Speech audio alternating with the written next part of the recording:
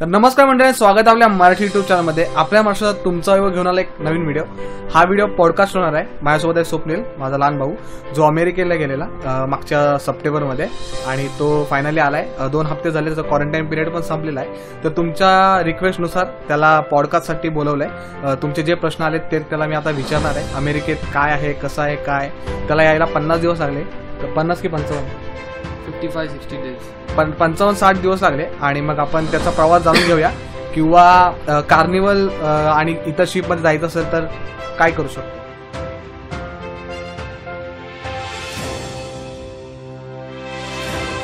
तो आपण त्याला पहिला प्रश्न विचारतोय की जायची प्रोसेस काय होती? तू कधी ठरवलंस की तुला शिपमध्ये जायचंय? सध्या तर मी जेव्हा इंडियामध्ये होतो त्या त्या ठी- मी ऑर्किडमध्ये जॉबला होतो. त्या त्या त्यावेळी मी प्लॅन केला की ॲब्रॉडला जाऊन शिपमध्ये काम करायचं. त्याच टायमाला मी वर्किंग असताना मी इथे कार्निवल आपला कार्निवलचं एक ऑफिस आहे इथे. आपला आपल्या घरासमोरच आहे इंडस करून. तिथे मी अप्लाय केला. त्याच्यानंतर प्रोसेस चालू होली त्या प्रोसेसला जेमतेम मला वाटते सहा महिने लागले.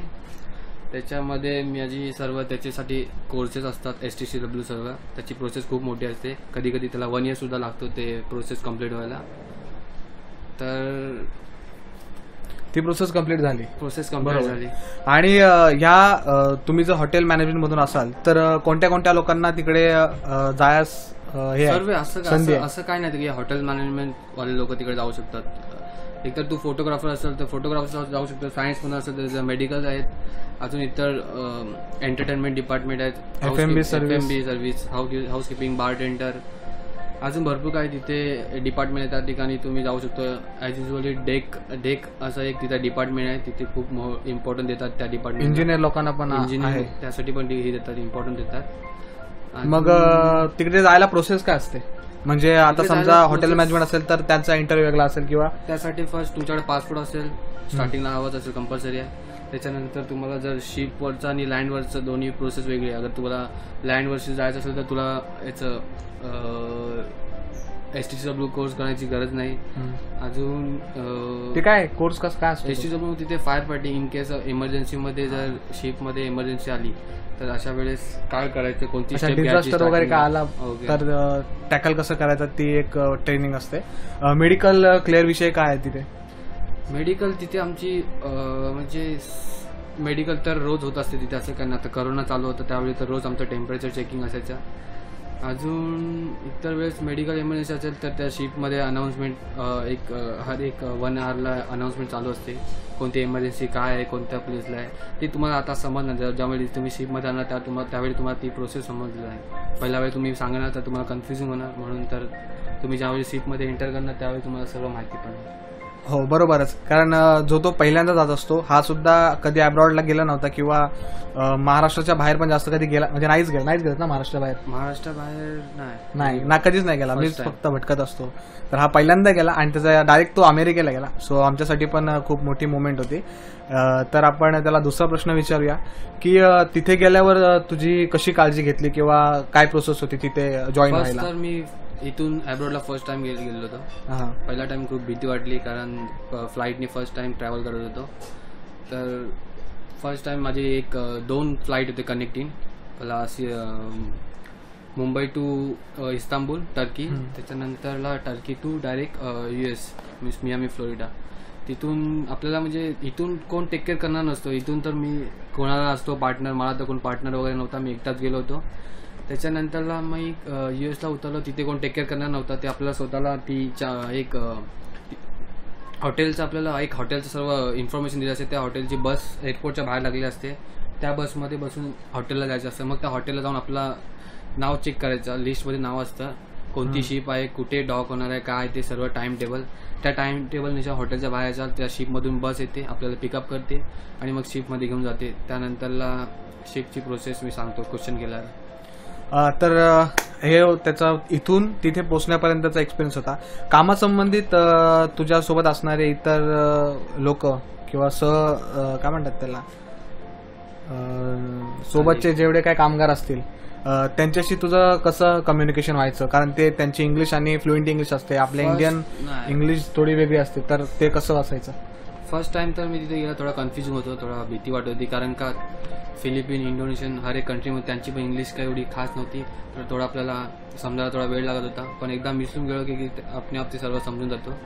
तिथे भरपूर कंट्रीचे लोक आहेत जास्त फिलिपिन इंडोनेशियन आणि मेक्सिकोचे तर असं काय नाही की ते लोक पण बाहेरून आले असेल बाहेरून आले असतात आणि आपण पण बाहेरून गेलो ते लोक पण ती जी- तीच भीती असते जी आपल्या मनात असते. आणि काय नाही त्यांची थोडी बोलण्याची पद्धत थोडी वेगळी असते जशी आपली आहे. बरं ह्या गोष्टी झाल्या तिकडच्या कामाबद्दलच्या. तिकडचं जेवण किंवा राहण्याची काय सोय असायची? राहण्याची म्हणजे तिथलं जेवण आपल्याला इंडियन सर इंडियन थोडं कमी असायचं म्हणजे जास्त काही नाही. सर्व बाहेरचं असायचं. आणि राहण्याची बोलत तर आम्हाला तिथे कॅबिन असायचं एक कॅबिनमध्ये दोन. ते तुम्ही बघितला असेल फोटो मी टाकला असेल तर तुम्ही कधी बघितला असेल तर असं वर खाली एक दोन ब्रेड असतात. एक कॅबिन असते. आणि अं, राहायला तिथे खूप एन्जॉयमेंटसाठी तर चांगलं आहे पण तिकडे कामाविषयी बोलतो तर काम खूप हार्ड आहे तिथे. ऑफ एक पण नसते ऑफ बारा घंटा चौदा घंटा काम करायला लागतं. आणि अजून अजून काय विचार? तर हा तुम्हाला आता हे कळालंच असेल की आता तिकडे जाणं कसं आहे राहणं कसं आहे. जर तुम्हाला सुद्धा शिपवर जायचं जर तुम्ही प्रयत्न करत असाल तर हा व्हिडिओ तुमच्यासाठी आहे. अजून क्वेश्चन असतील तर मला कमेंटमध्ये सांगा. तर आपण पुढच्या भागाकडे वळू. की तुम्ही प्रत्येक लँडवर थांबायचे बरोबर? शिपमध्ये असताना. हा तिथे आमच्या कंपनीच्या भरपूर शिप आहेत. म्हणजे पस्तीस पस्तीस चाळीस काय ते शिप आहेत. तर हर शिपला असे एक एक त्यांनी ते पोर्ट दिले आहेत. म्हणजे आता काही शिपमध्ये सेव्हन डेज क्रूज असते. तर त्यासाठी सेव्हन डेज क्रूजमध्ये पाच डे पोर्ट असणार वन डे सी डे असणार. त्या हर पोर्ट हर सर्व वेग- वेगवेगळे पोर्ट असणार. दुसरी शिप असेल तर त्याचे पण सर्व वेगवेगळे पोर्ट असणार. असं असतं. तर आमचे होते कॉझुमे होता मेक्सिको होतो असे भरपूर सारे पोर्ट होते. सेव्हन डेज क्रूज होता. त्याच्यामध्ये एक सी डे असायचा. बाकी युएस मध्येच फिरायची मेक्सिकोला जायची. अजून भरपूर ठिकाणी जायची शिप बरं आता खूप लोकांची इच्छा असते की अब्रॉडला जायचंय. तुम्ही तर आता पूर्ण शिपमध्ये असल्यामुळे बाहेरच्या जगाशी जास्त तुमचा कॉन्टॅक्ट म्हणजे सोशल नेटवर्कद्वारे होता पण बाकीच्या गोष्टींशी नव्हता. कधी तुम्ही लँडवर आलात तरच तुम्हाला तिकडे. फिरायला मिळायचं. पण तुमची शिपच एवढी जेवढी मोठी होती तर जायची त्याचं थोडं डिस्क्रिप्शन दे की त्या शिपमध्ये काय काय सोयी-सुविधा किंवा आहे. बोलायला गेलं तर सर्व सोयी सुविधा होती. म्हणजे बोलायला तिथे आम्हाला प्ले स्टेशन होते क्रू बार असायचा अजून वेगवेगळे तिथे स्पोर्ट्ससाठी आपण खेळ जाऊ अप्लाय करू शकतो. तिथे गेम्स असायचे कॉम्पिटिशन व्हायचे तिथे अजून बिंगो बिंगो पण असायचा तिथे महिन्यातून एकदा. मसाज पार्लर सर्व सर्व. आणि तिथे. हर दोन वीकने एक ग्रुप पार्टी असायची. त्यामध्ये लिकर वगैरे असायचं काही पार्टीमध्ये फ्री असायचे काही पार्टीमध्ये आपल्याला पे करायला लागायचं. अजून कसिनो सारखे असायचे. गिफ्ट शॉप होते तिथे. आणि आणि. जर नॉर्मल एक मराठी माणसाला जर जायचं असेल बाहेर तर तो त्याची इंग्लिश पण कमी आहे थोडीशी. पण तो तिथे जाऊ शकतो का? राहू शकतो का? ऑफकोर्स जाऊ शकतो तिथे. तिथे असं काय नाही की इंग्लिश कंपल्सरी थोडीफार तरी आपल्याला इंग्लिश येते. त्या हिशोबाने तिथे आपण गेलो तर ऑटोमॅटिकली ते आपल्याला येते. त्या लोकांची पण इंग्लिश काही एवढं हे नसते कारण ते पण जास्त करून फिलिपिन इंडोनेशियन असं त्या कंट्रीमध्ये आलेले असतात. जवळजवळ तू तिथे नऊ महिन्यासाठी गेलेलास बरोबर? पण तू. तिथे आठ महिने काम केलास. त्याच्यानंतर करोना चालू झाला. तर तिकडची परिस्थिती काय होती? करोना आला ज्यावेळी करोना स्टार्ट झाला त्यावेळी तिथे तर सर्व नॉर्मल. होतं. जेव्हा इकडे वाढलं त्यानंतर तिथे थोडं माहिती पडलं की करोना असं आहे.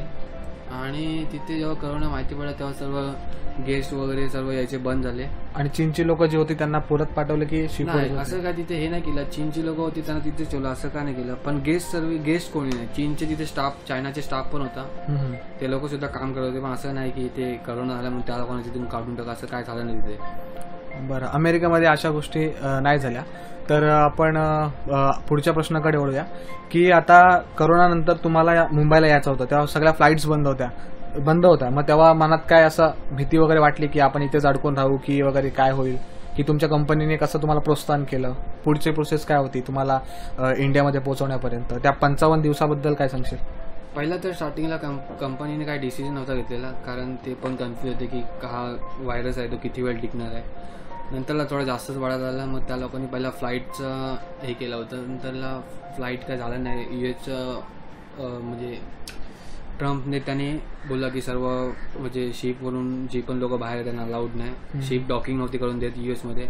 मग आम्ही बहामसला बहामस वॉटरमध्ये होतो. बहुतेक मला वाटतं पंधरा वीस दिवस होतो. गेस्ट नव्हते फक्त क्रू होते. पण क्रूला ते असे ट्रीट करायचे की गेस्ट सारखे सर्व गेस्ट सारखं जेवण वगैरे होतं तिथे. कारण का ऑलरेडी आमच्याकडे स्टॉक असा होता की सर्व म्हणजे क्रूच्या गेस्टच्या हिशोबाने एवढा स्टॉक होता. जर तो यूज नाही केला तर तो वेस्ट वेस्ट झाला. म्हणून ते आम्ही यूज केला ते. आणि ते इंडिया नंतरला इंडियात यायचा प्रश्न चालला तर नंतर त्यांनी सर्व प्लॅन केला कंपनी की एवढा स्टाफ इंडियाचा आहे तर पाठवणार कसे? बाकीच्या कंट्रीमध्ये होतं पण जास्त करून इंडिया फिलिपिन आणि इंडोनेशियन होते. तर ह्या लोकांना कसे पोचवायचे घरी? तर त्या लोकांनी प्लॅन केला की हर कंट्रीमध्ये शिप पाठवायच्या. तर जास्त आपल्या इंडियामध्ये मला वाटतंय आपले चार हजार पाच हजार क्रू होते. आणि चार शिप केले होते. चार शिप इंडिया आपल्या गेटवेला आले होते. आणि नंतरला नाही म्हणजे तुला तिथून इथपर्यंत समुद्रामध्ये असे काय एक्सपिरियन्स आले का? खूप मोठा एक एक्सपिरियन्स होता. तिथे ज्यावेळी इथे सुनामी आली होती त्यावेळी तिथे सायक्लोन सायक्लोन आला होता. त्यावेळी तिथे खूप मोठा डेंजर सिच्युएशन तुम्ही तेव्हा पाण्यामध्ये होतात. हा रफसी आली होती. त्यामुळे आमची एक शिप आहे कार्निवल एक्स्टसी तिच्याबरोबर थोडा प्रॉब्लेम झाला होता. ती थोडी म्हणजे पाण्याची आणि थोडी डगमगली होती. थोडा इमर्जन्सी आली होती. तर सर्व क्रू थोडा इमर्जन्सी ड्युटी करून त्यांच्या त्यांच्या स्टेशनला गेले होते. कारण का सिच्युएशन खूप बेकार होती. पण ती कॅप्टन चांगला असल्यामुळे ते सिच्युएशन नॉर्मल झाली. समुद्रामध्ये अशा काही गोष्टी होत असतात. मग तिथून पहिल्यांदा आय गेस आपल्या तालुक्यामध्ये तो असेल की ज्याने इक्वेटर क्रॉस करून इंडियात आलाय. कारण सहजासहजी शिपने कोण इंडियात येत नाही. डायरेक्ट जे अमेरिकेला जातात ते फ्लाईटनेच येतात. ऍक्च्युली आपली माझ्या कार्निवल कंपनीची पहिल्यांदा अशा शिप इंडियामध्ये आलेत हर कंट्रीमध्ये कारण का का- त्या कंपनीच्या शिप ह्या साईडला येत नाही. तर त्या ज्यावेळी मी US to Bahamas to India येत होतो त्यावेळी मी इक्विटर लाईन क्रॉस केली. त्या इक्विटर लाईनचा मला सर्टिफिकेट सुद्धा दिलेला आहे त्या लोकांनी दोन वेळा केली. त्यांनी सर्टिफिकेट एकच दिला. ते सेकंड सर्टिफिकेट ते बोलले मेल करणार. ते बघूया आपण.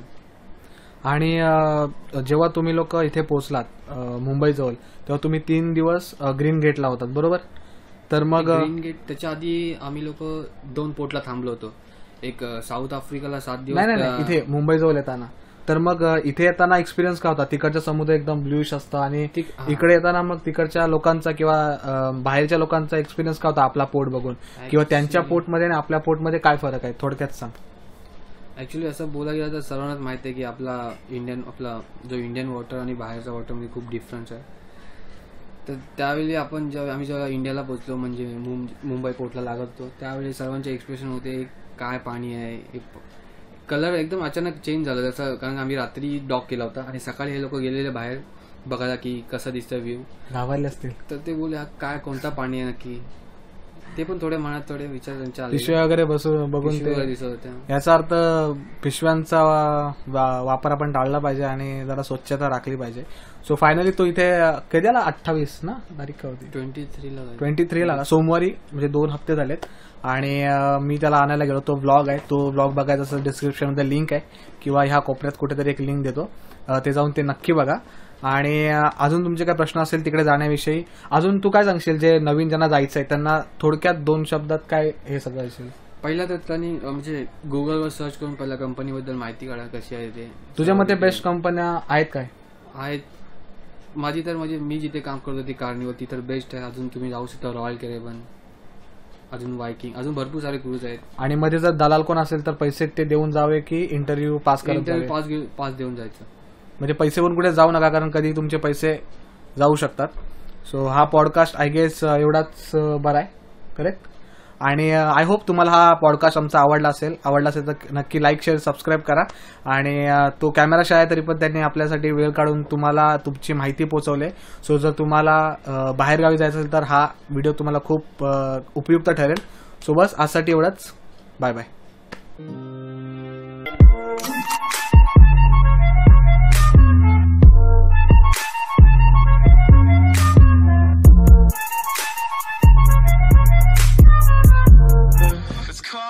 crossfire.